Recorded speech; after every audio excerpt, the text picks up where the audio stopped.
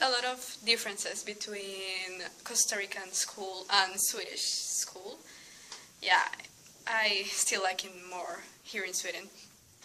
Um, teachers were really nice to me and really supportive.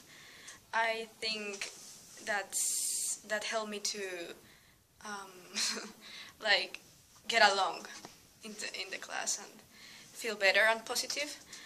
Um, I don't know like it was kind of boring because every everybody in my class talk like another language and they couldn't talk in English.